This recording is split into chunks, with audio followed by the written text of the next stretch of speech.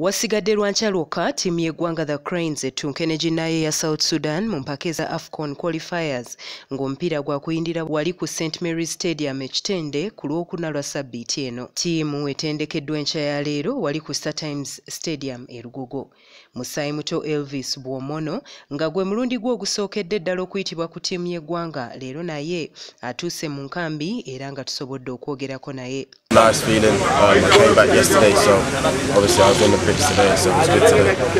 I'm a hard working up and down fullback, um, defensively sound, and I help attacking. I can get forward, um, an all round player.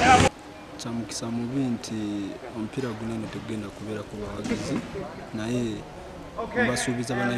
nti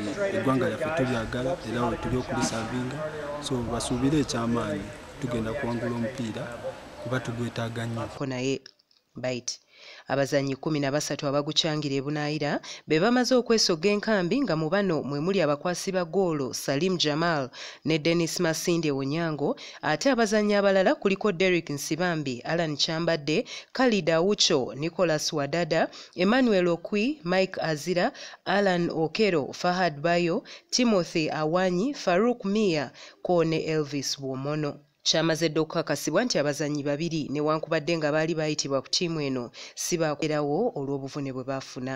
Bano kuliko uche mubiru agukyangira mu ttiimu ya ikombe wamu ne alex kakuba agukyangira mu ggwanga erya portugal.